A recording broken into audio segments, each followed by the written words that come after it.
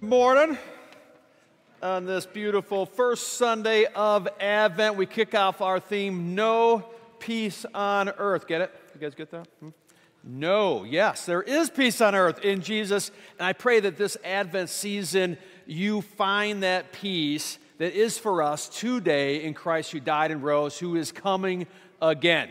And one way to do that uh, during our crazy times is being right here, taking communion, being His Word, gathering together.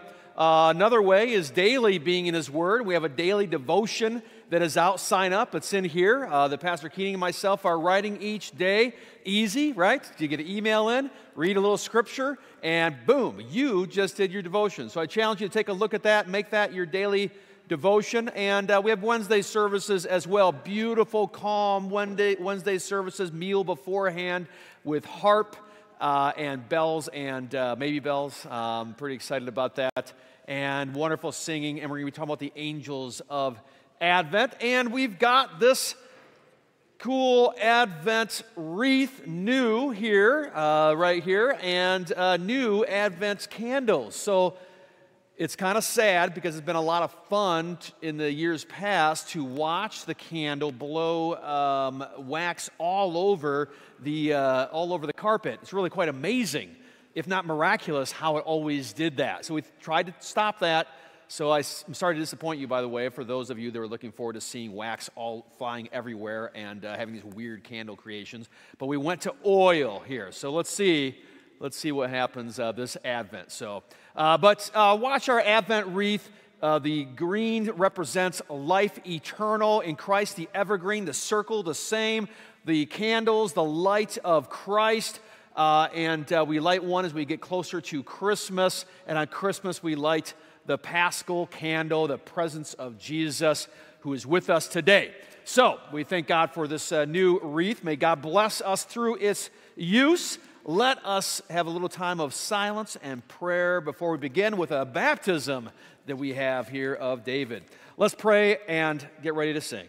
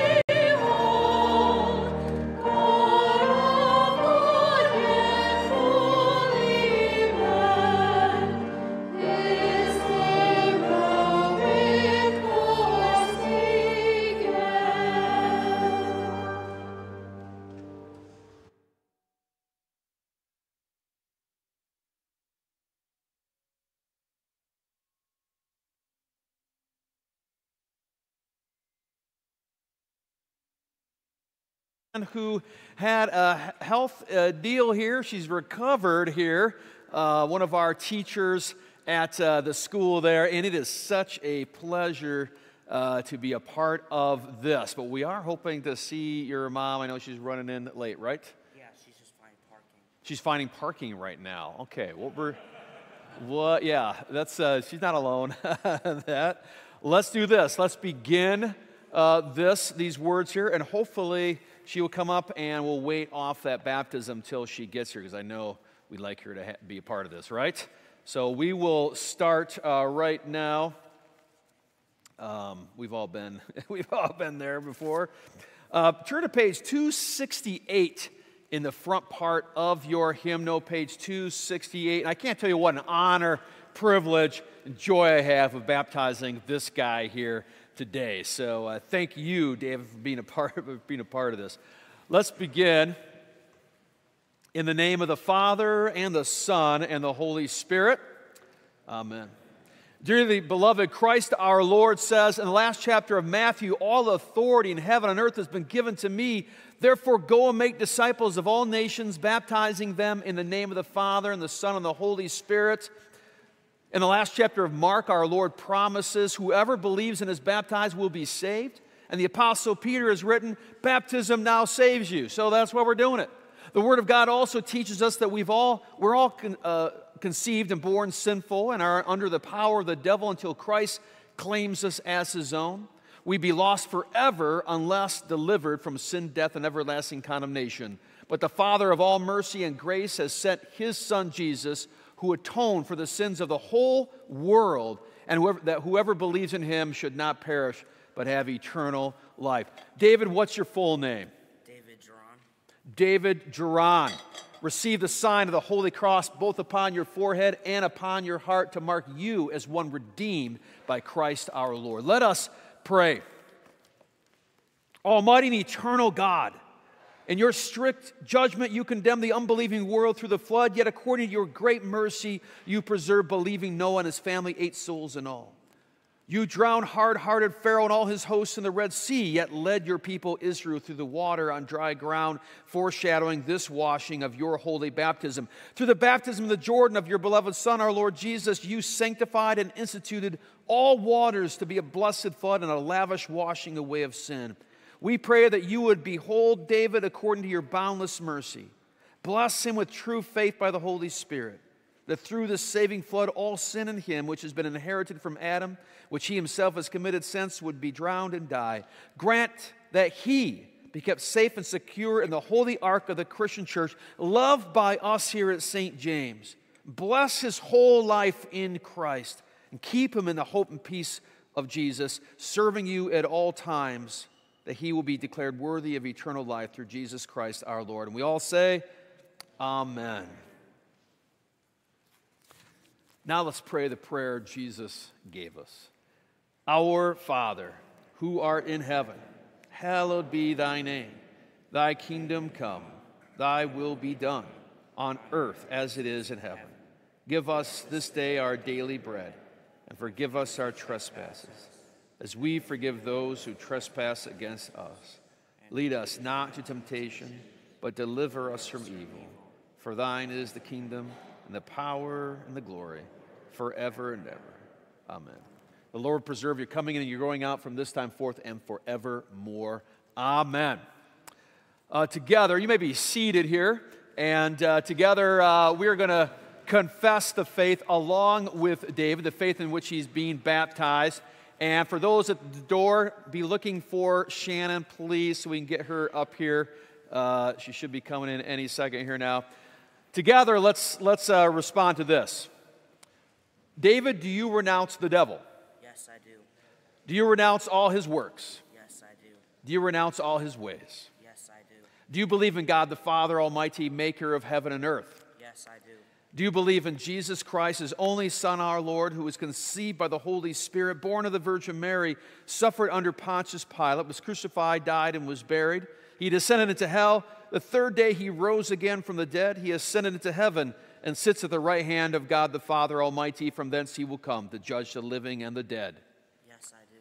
Do you believe in the Holy Spirit, the holy Christian church, the communion of saints, the forgiveness of sins, the resurrection of the body, and life everlasting? Yes, I do. Amen.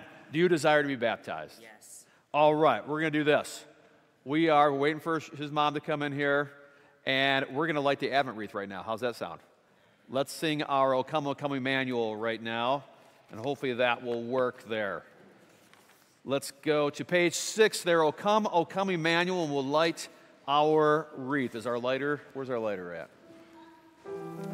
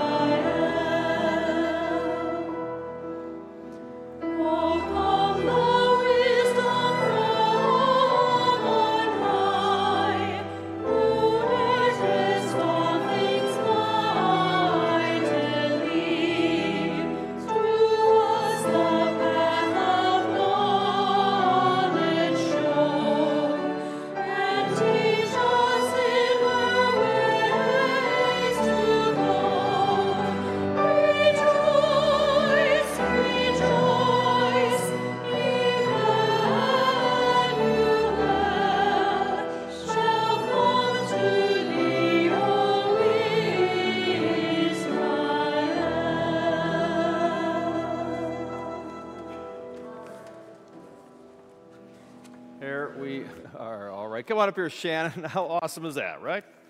We waited for you. We didn't wait, actually. We got going here, but uh, awesome. This is uh, David's mom here, Shannon. Good to have you here. Ready for the baptism? Let's do it.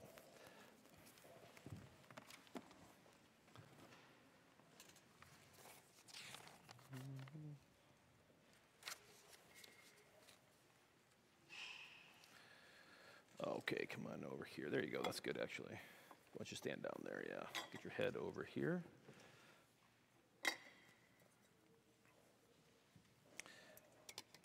David, I baptize you in the name of the Father, and the Son, and the Holy Spirit.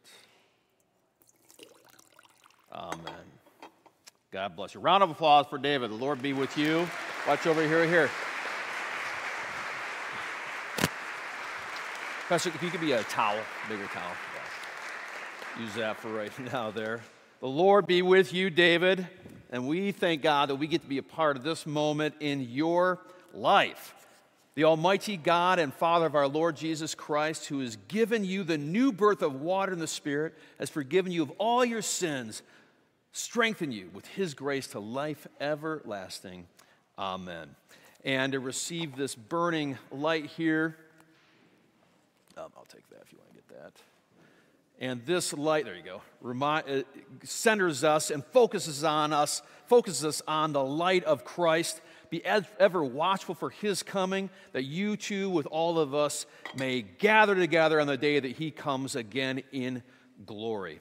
Also, as a, uh, as a baptized person, in holy baptism, the Father has made you a member of His Son, our Lord Jesus Christ, and an heir with all of us. You are our brother in Christ, and we receive you in the name of Jesus, equal to any of us. You are a child of God. And may we care and love one another as well as David, as the body of Christ, as Jesus commands us to do. And in Christ, together we hear his word, receive his gifts, and proclaim the praise of him who called us out of darkness and into his uh, marvelous light. So, together, let's say, Amen. We welcome you in the name of the Lord. Let us rise and pray. Almighty and most merciful God and Father, we praise and we thank you for this day that you have graciously preserved and enlarged your family. You have granted David the new birth in holy baptisms. You've made him a member of your Son, our Lord Jesus, and an heir of your heavenly kingdom. We humbly implore you that as he has now become your child, you would watch over him, keep him in his baptismal grace. Watch him every day, be with him, and Lord, may you draw him closer to you through word and sacrament and through the body of Christ here at St. James, that he may faithfully grow to lead a godly life in the praise and honor of your holy name. And finally, with all your saints, totally here because of the grace of God, obtain the promised inheritance in heaven through Jesus Christ our Lord. Amen. Peace be with you. Amen. God's blessings. Round of applause for this guy. There you go. God's beat with you. There you go.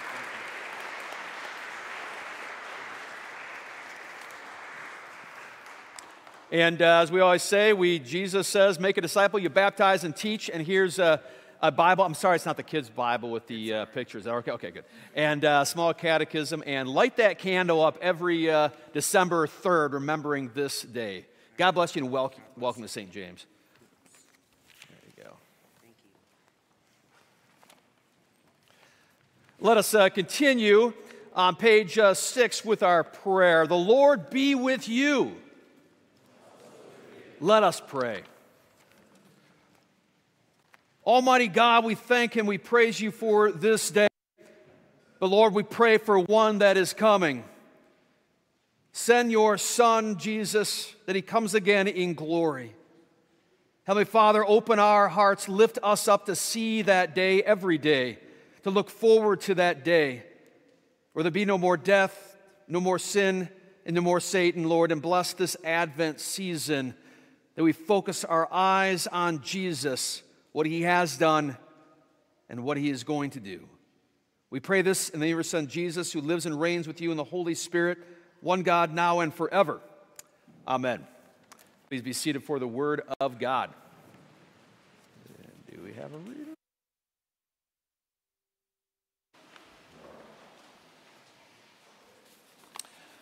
Our first reading today is uh, from Isaiah 64. Oh, that you would rend the heavens and come down, that the mountains might quake at your presence. As when the kind kindles, as when the fire kindles brushwood and the fire causes water to boil to make your name known to your adversaries, and that the nations might tremble at your presence. When you did awesome things that we did not look for, you came down, the mountains quaked at your presence.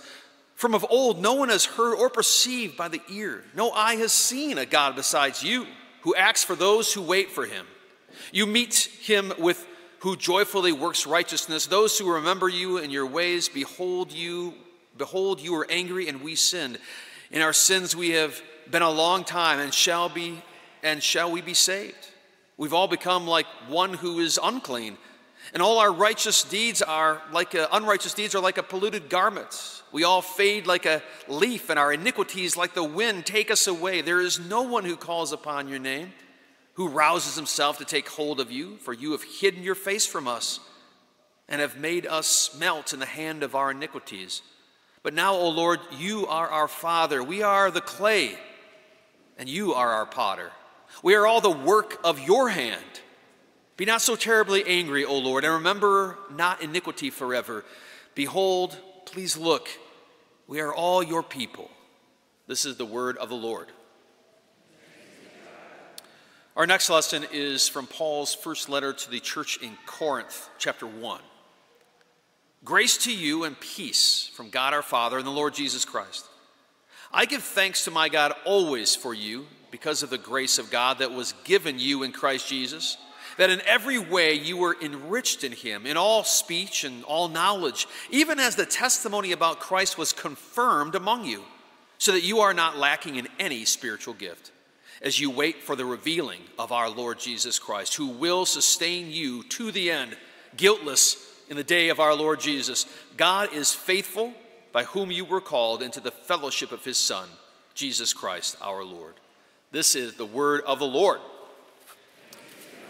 Please rise for the words of the Word made flesh.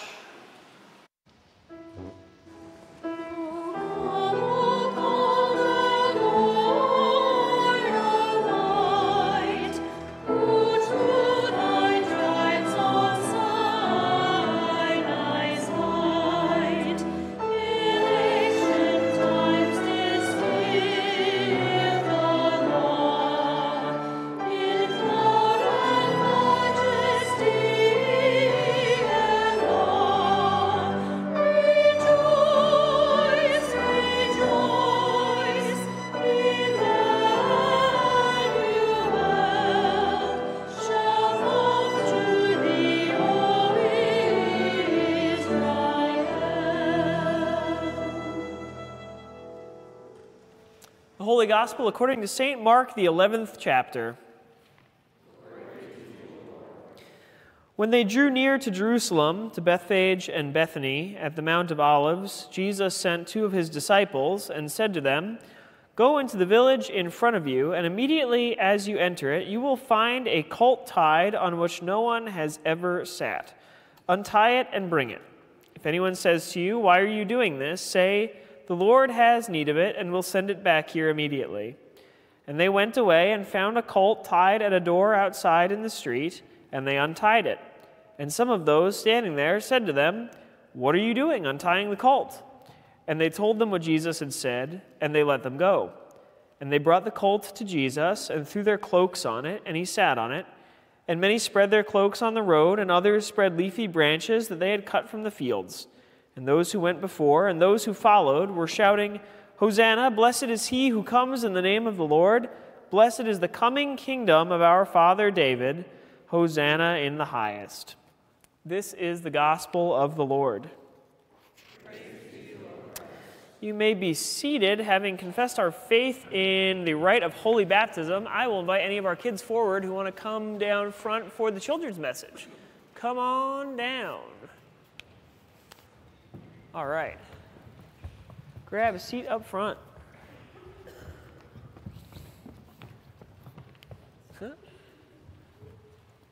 All righty. What's, uh, what's different in our sanctuary today? What do you notice that's different as we look around the room? Yeah. There's flowers. Yep. We call those poinsettias. Yep. What, what else, Aaron?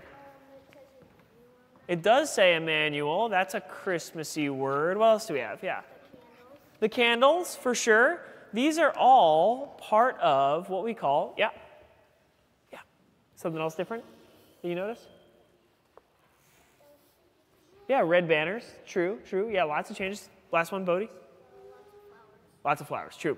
This is all part of what we call the season of Advent, right? Advent is a season of preparation. It's where we get our hearts and our minds ready for the birth of who? Leon? True, we'll get there in a second. Yeah. At Christmas, the birth of? Jesus, right? The birth of Jesus. All of this is to get ready for the gift that is the birth of Jesus. When you guys get a normal present, whether it's your birthday or Christmas, do you have to do anything to prepare for that? Do you think? Kind of? Not really? Yeah? Okay. So maybe decorate if it's like a special occasion. But most of the time, you don't really need to prepare to receive a gift, at least not in the same way that we do inside the church, right? Why do you think that is? I think it's the central idea that Jesus is such a great gift.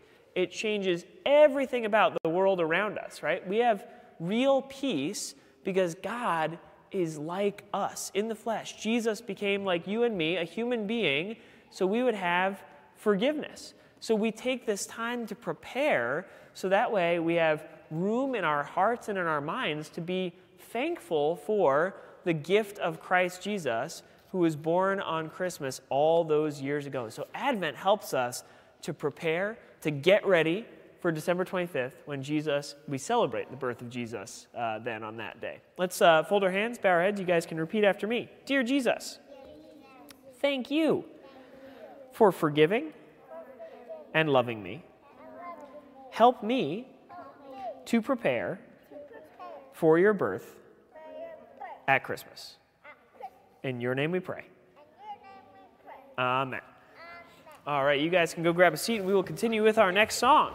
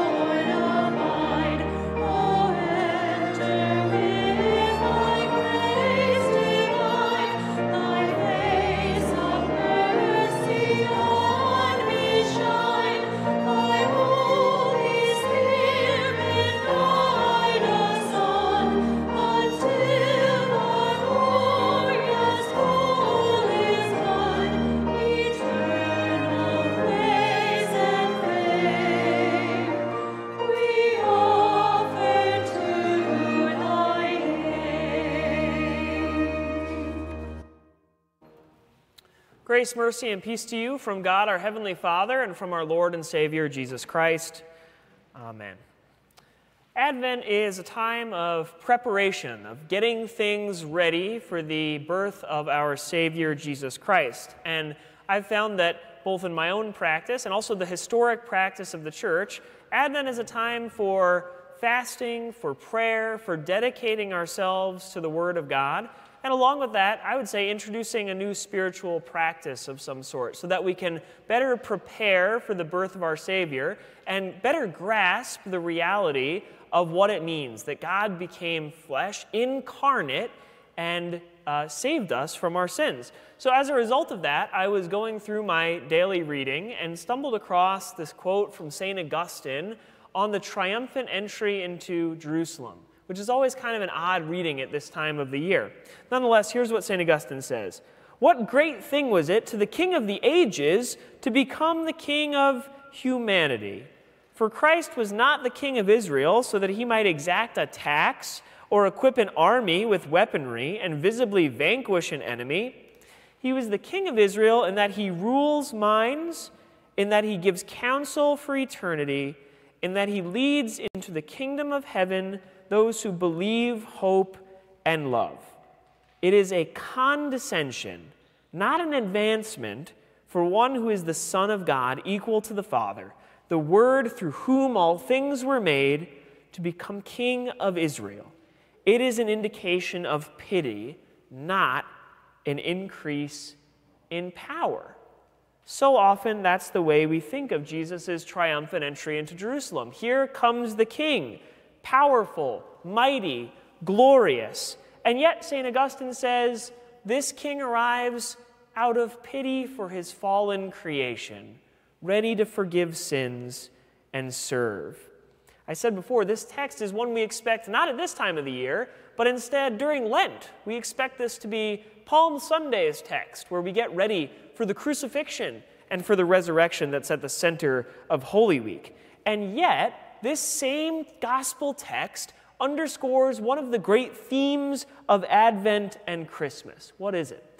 Well, last week we talked about the idea that Advent and Christmas is kind of a story about two kings.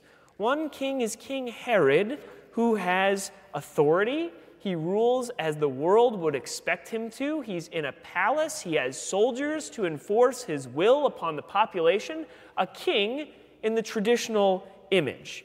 And yet the other king is King Jesus.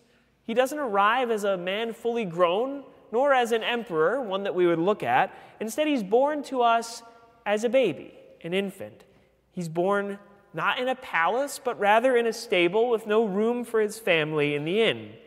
Indeed, he doesn't rule through force, but rather he rules through self sacrificial love. Interestingly, he doesn't command soldiers, instead, he has messengers evangelists. And even the word angel means messenger.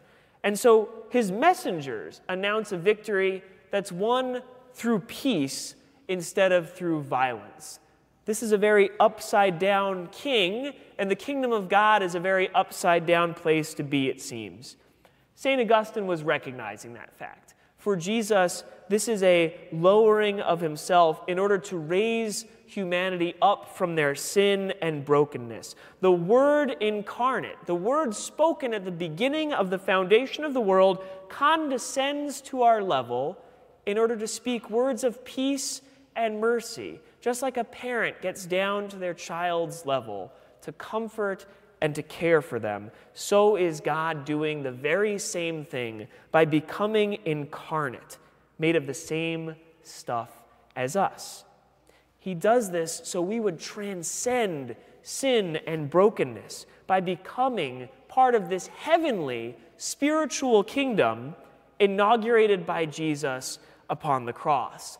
And that's the surprising thing about Advent. At the center of Advent lies the cross of Calvary. That's at the end of our journey.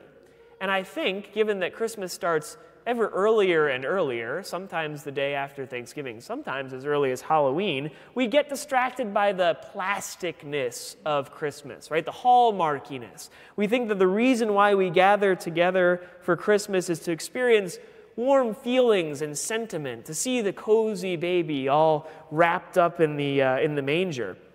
But historically, this was not the case for the church. In fact, historically, Advent had far more in common with that season of Lent. It was a penitential season where we prepared our hearts and minds. The church devoted itself to prayer, to fasting, to reading the Word of God, so we might better grasp the why of the incarnation, of the birth of Jesus, why it was necessary for God to enter into our sin and brokenness, to enter into our suffering and darkness. Historically, sanctuaries actually uh, kind of reflected that, right? In the sense that they were adorned with purple, pointing us forward to a suffering king who comes to make right the wrongs of the world around us.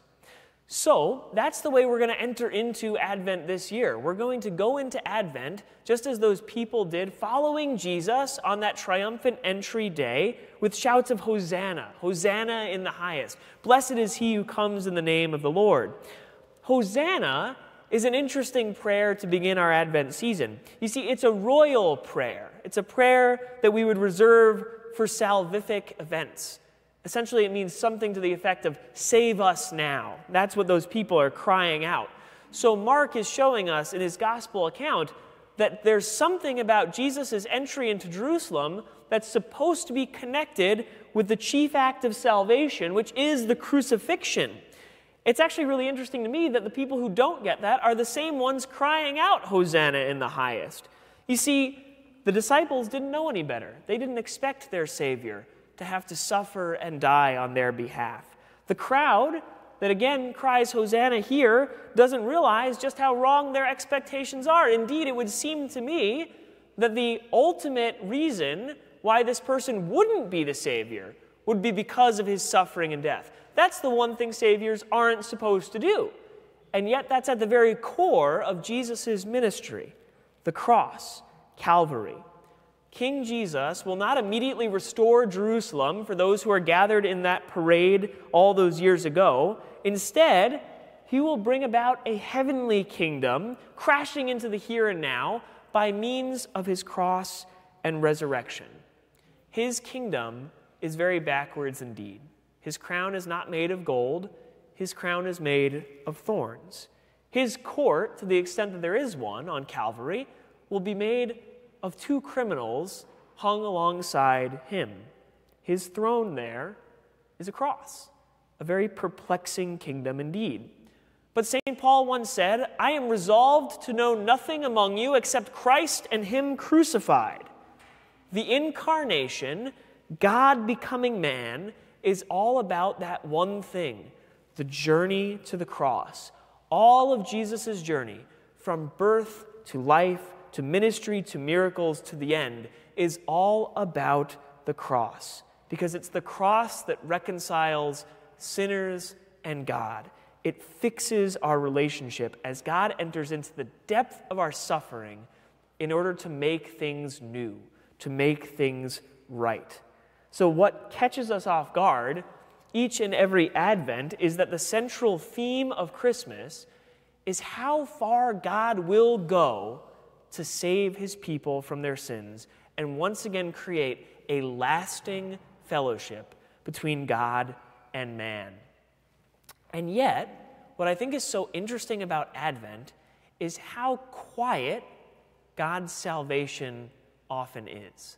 Advent is a time of silence, of diving deep into prayer in order to see the very subtle ways that God saves us from our sins. Isaiah seems to expect just the opposite. If you paid close attention to our Old Testament reading, he says, Oh, that you would rend the heavens and come down, that mountains would quake at your presence, as when fire kindles brushwood and the fire causes water to boil, to make your name known to your adversaries, and that the nations would tremble at your presence.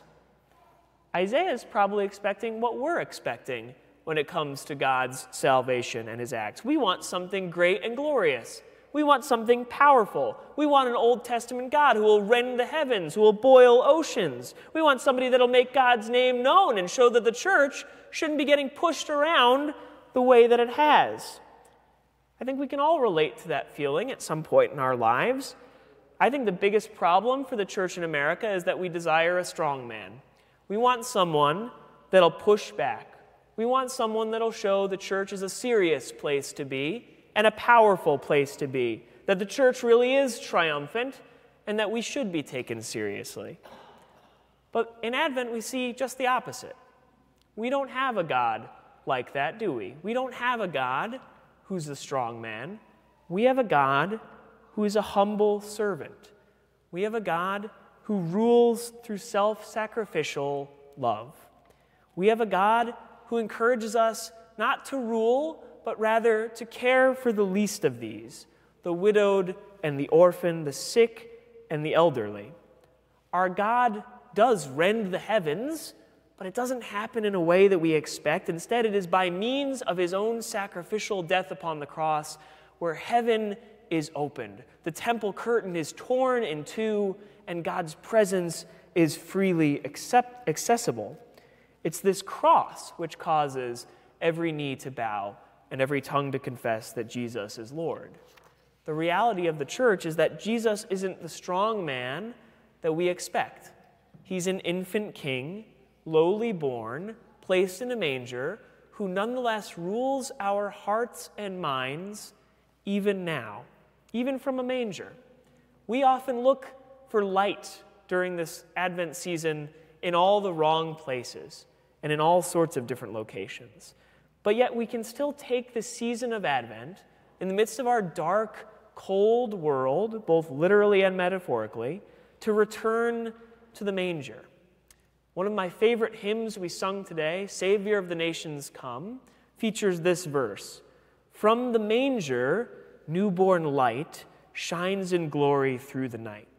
Darkness there no more resides. In this light, faith now abides. In this light, this is the light we receive, the Christ child born to us in this humble way. And it is Him who is at the center of our season as we prepare for that wonderful, miraculous, unexpected birth. But when we think about preparation, especially at this time of the year, I think we can easily, easily get off track. Probably some of you are preparing in your homes for Christmas this season. And I like to ask the question of what are we expecting from this particular holiday? Are we looking for that Hallmark esque, picture perfect Christmas? Everything prepared just the right way, the food as it should be, the right people at the dinner table? Or are we looking for something a little bit different? And I think we should be looking for something a little bit different. Every year in our, my family, a tradition is we watch uh, Charlie Brown Christmas. My middle school students know this. Uh, and I think it's theologically profound in many different ways. But in the special, we wrestle with the same problems that our titular character, Charlie Brown, does. He's in the midst of a commercialized holiday, a very plastic Christmas, if ever there was one. He's struggling with seasonal depression, all the usual problems that people have at this time of the year. And where does that struggle lead him? To his would be psychiatrist, but more often torturer, Lucy, who suggests that he should go help with the Christmas pageant. Maybe he'll find there a sense of belonging, of meaning at the, sense, at the center of the Christmas season. And yet it's from there where the real problem starts to emerge. There is no Christ at the center of that play. Instead, there is the ever expanding commercialization, the plasticness that he's wrestling with. And Charlie's, Charlie Brown's lack of enthusiasm is exasperated by the people in his life. Snoopy, who's usually our uh, go to for what it means to uh, have joy in the midst of the season, has submitted his house for a Christmas decorating contest. And uh, the contest says that you can find the true meaning of Christmas here by winning a cash prize and having the best decorations. His little sister, too, I'm always amused by, says that Santa Claus should bring her tens and twenties instead of toys.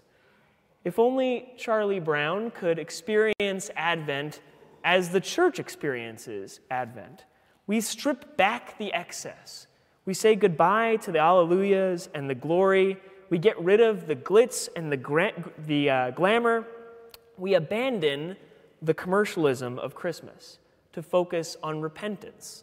Repentance because the kingdom of God has drawn near to you in the Christ child. We return to this one central reality that Christ Jesus was born in that manger so that he would grow up to live, to die, to rise, reconciling God and man, crafting the church, a place where true peace and joy can be known in a lasting way, in a way that extends far beyond this season. Your king comes to you as a baby, redeeming you through every act that we will see in Advent and Christmas and beyond.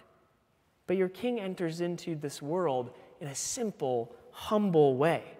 We often look to the wrong places, just like all those characters in Charlie Brown, for satisfaction at this time of year. Jesus, in turn, invites you into the heavenly kingdom. Jesus invites you right here into the gathering of believers, week in and week out.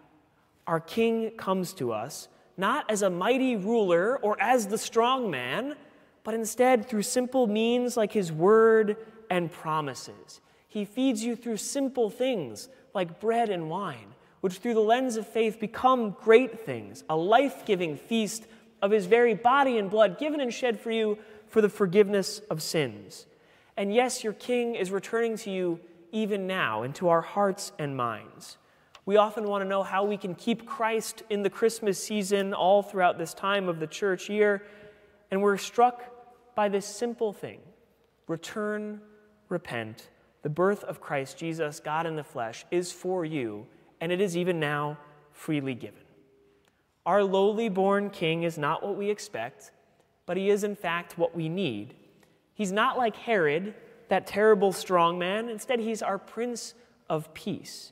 He sends evangelists to proclaim that very word of peace into your hearts and minds so that you would be forgiven and made new. May we respond then with shouts of Hosanna, but shouts of Hosanna rightly oriented, as we seek to serve as our servant king first served us. And that's what Advent then is really all about. One simple fact that our king has come to be crucified. His death has become the gateway to life for all who believe in him. His resurrection has given you new life, a present hope in the midst of any trouble. And centrally, we see who our God is in that that divine word took on flesh, becomes like us, so that we might once again be like God, forgiven, holy, and righteous, a precious possession for whom Christ died for, for whom he rose for, and for whom we now live for. Amen. And now may the peace that surpasses all understanding keep your hearts and minds in Christ Jesus our Lord. Amen.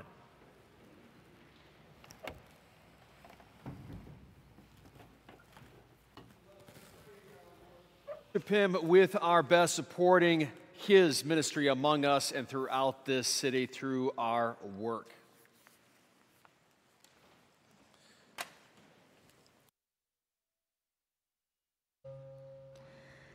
Amazing grace, how sweet the sound that saved a wretch like me.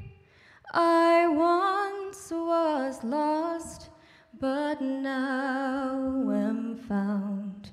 Was blind, but now I see. The Lord has promised good to me. His word, my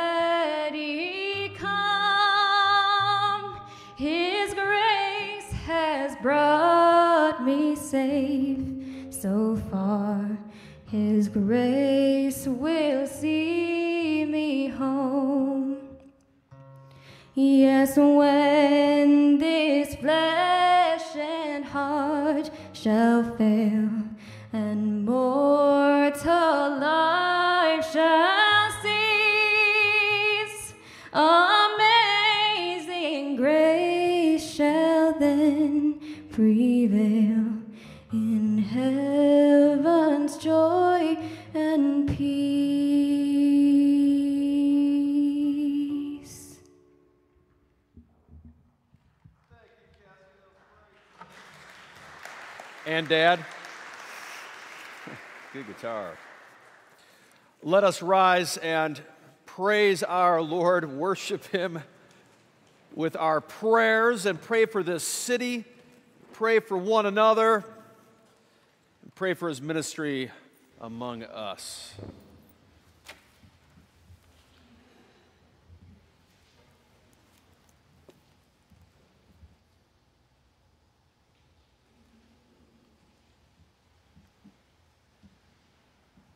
Almighty God, bless us this Advent season. Help us to engage our situation, be honest with ourselves and our need. What is it that has that we are waiting for? Who has come? Who is this Jesus? Why do we need him so much? And may this season bring that out in us to see our sins and see our desperation, but especially to see what we have in Christ forgiveness, eternal life, that it's going to be okay. Lord, in your mercy, Almighty God, we pray for those that need peace now in Christ, who are suffering, who are hurting, who are hungry, who are poor, who are underemployed. We lift up to you those who are sick in hospital or living with chronic illness. We lift up to you those with broken relationships, those who are mentally ill as well as physically ill. We pray for healing for them. We pause and we lift up to you our desperate prayers to you for those in our lives.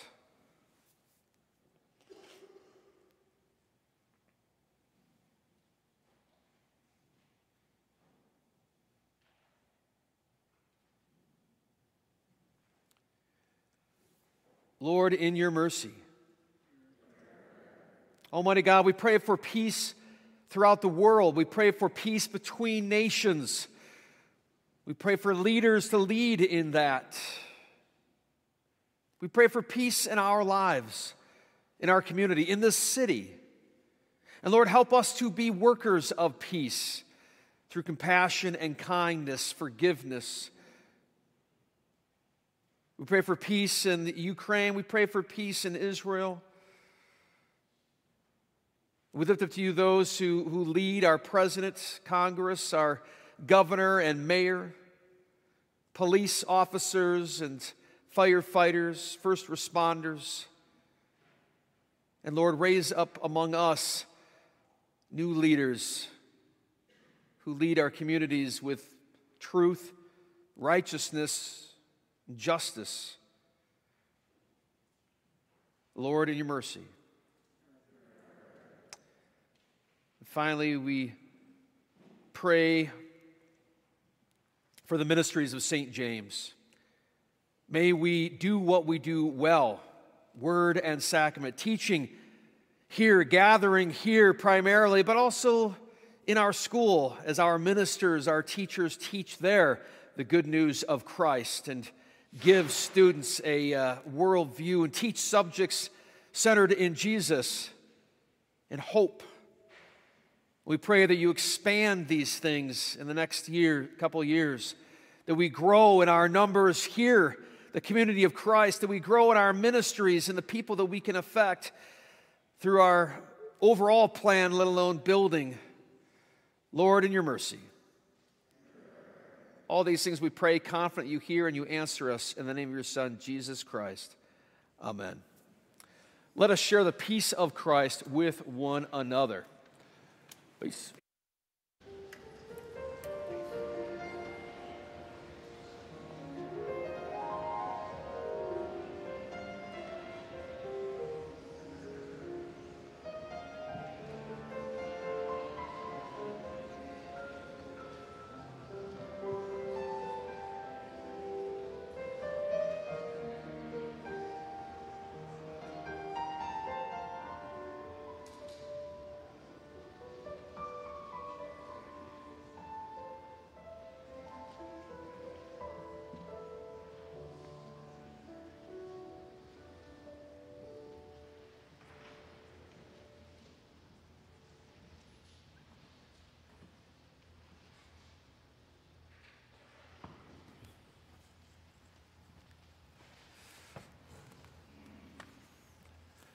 The Lord be with you.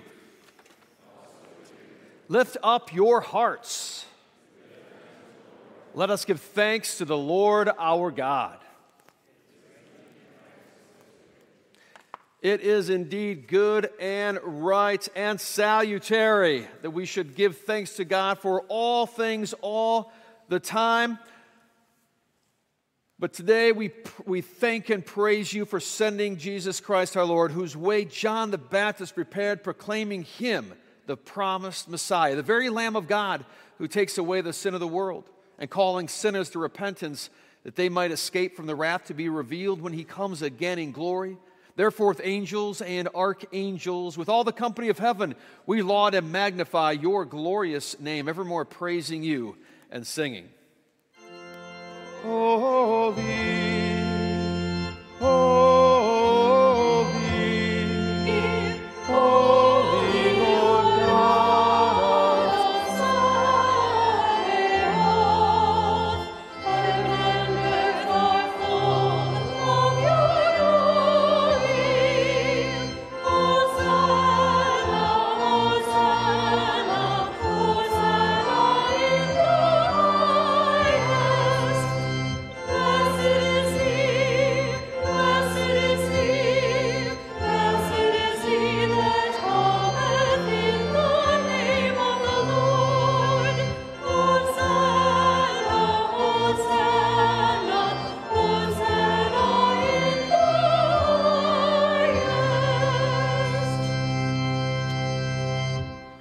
Lord Jesus Christ, on the night when he was betrayed, took bread, and when he had given thanks, he broke it, gave it to the disciples, and said, Take, eat, this is my body, which is given for you. This do in remembrance of me. In the same way, also, he took the cup after supper, and when he had given thanks, he gave it to them, saying, Drink of it, all of you. This cup is the New Testament in my blood, which is shed for you for the forgiveness of sins. This do as often as you drink it in remembrance of me. The peace of the Lord be with you always. Amen. Take and eat the body of Christ given for you. Take and drink the true blood of Christ shed for you.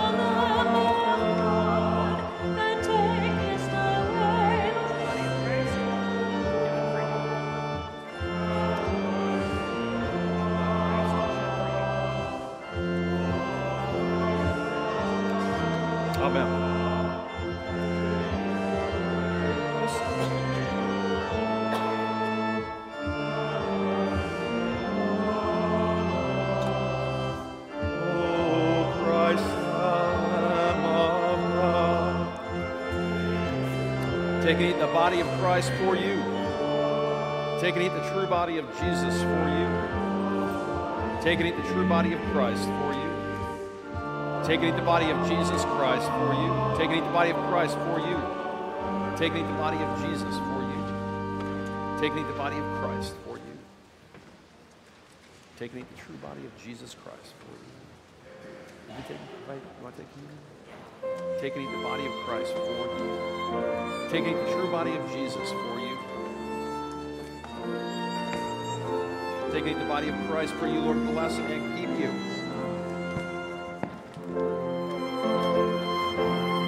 Take and eat the body of Christ for you, Lord. Bless and keep you. Take and eat the body of Christ for you, Shannon. May the Lord continue and completely heal you. Take and eat the body of Christ Take the true body of Jesus for you. Take the true body of Christ for you. Take and eat the body of Christ for you. Take and eat the body of Jesus Christ for you. Take and eat the body of Christ for you. Take and eat the body of Jesus Christ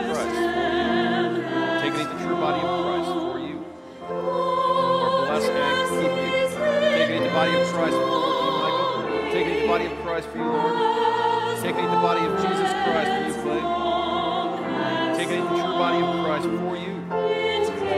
Take and eat the body of Christ for you, Edith. Take and eat the true body of Jesus for you, George.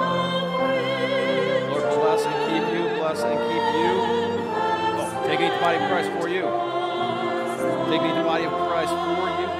You. Taking the body of Christ for you.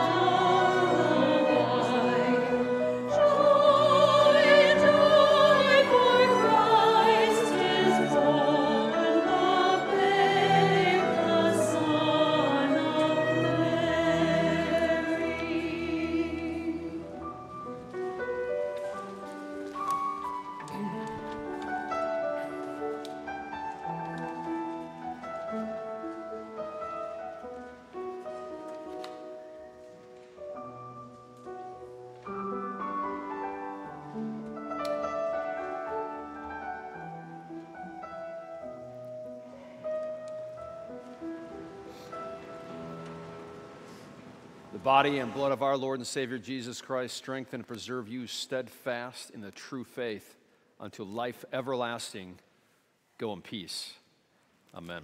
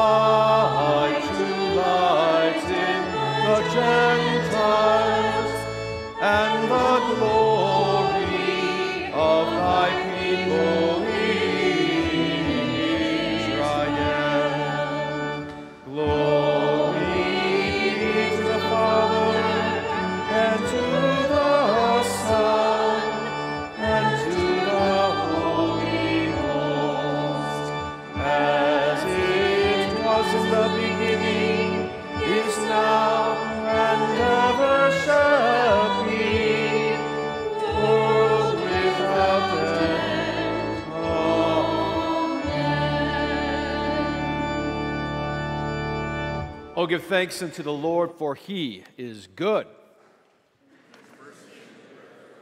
Let us pray.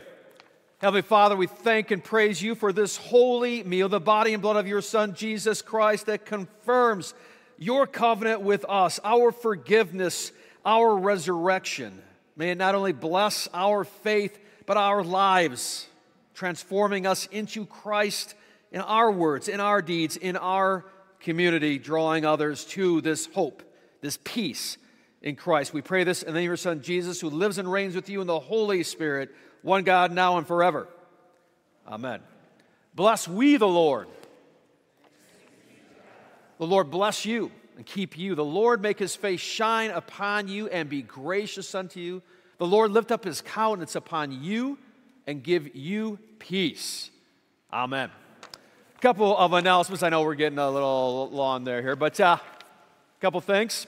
Thank you for all of you engaged in this last campaign of building on Christ. We have reached 2.4. I think with some conversations the last week, we will be hitting near 2.5 of commitments on your end to making sure we ex- enrich and expand not just the buildings, but the ministries of St. James and get out there in this city uh, and just increase that reach of bringing hope.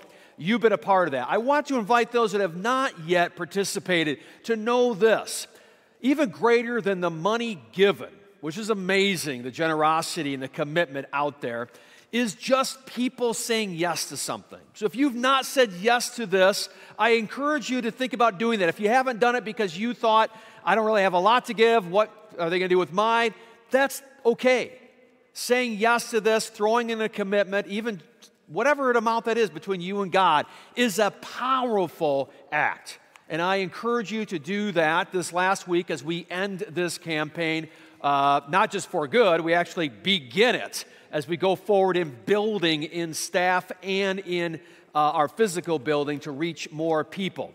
Uh, so think about that right now. I'd love to see that go up to 200 people of our community um, uh, engaged in that. So pray about that, think about that. We have a voters meeting in a couple of weeks, December 17. Uh, after the second service, it will be making a decision on how much to borrow. What exactly are we going to do? It's basically going to follow exactly what we laid out in our campaign, but we'll have more details for you and a financial plan to accomplish that as we now know what we're dealing with on our end, what we can give toward that. Pray about that now. This is your church, this is your congregation. Your participation makes this powerful. So I really encourage you to pray about it now, think about it now, ask questions now, and be there uh, uh, December 17th. On that note, next Sunday, we've got caroling. Come and check it out. Next Sunday after second service. Wednesday services, we have a beautiful service with uh, harp as we sing Christmas songs and focus on the angels of peace and that's at 7 o'clock meal beforehand. Check out our Advent devotions, get engaged on that. Be in the Word, be in prayer, fast and pray. May this Advent season be a powerful time of realizing what you have in Christ, the peace that we have especially, and what is coming. And may God share that through us as well. Uh, Angel Tree, too. Figure that out. We've got, uh, this is the last day. Grab a uh, ticket, look at it on your, on your, uh, in your uh, folder there. We want to fill out our Angel Tree. We have a bunch of commitments to give uh, to that. So take a look at that. And youth later on today, right? All right. Also, you need to know this. We have a, an Al Anon meeting that meets here once a uh, week as well. We host that downstairs on a Sunday. That's part of your ministry of making sure people in need are served. So that's an awesome thing. Really excited about, about that. Please keep those in your prayers. Oh, and sorry, see, this is the only reason why these are long is everyone has something they want me to say. Anyhow, uh, our Christmas cantata is going to rock greater than the voters meeting the day before what a great way to get ready that's saturday come and hang out listen to amazing orchestration and choir and get in that christmas spirit december 16th thanks for all those that came to christmas fest and Kodra, thank you for last Thursday's Romanian Madrigal Choir. Absolutely blew me away. What a blessing of people getting together and serving the Romanian community in this area. Let's sing our last song.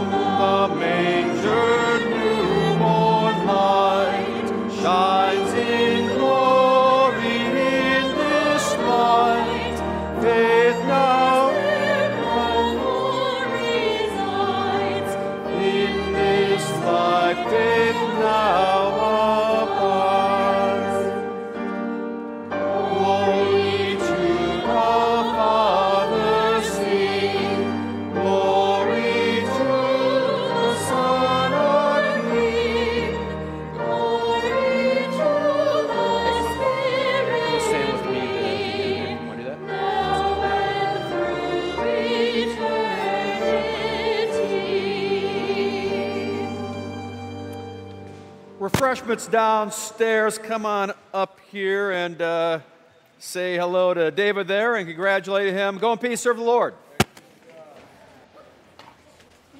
All right, congratulations, big guy.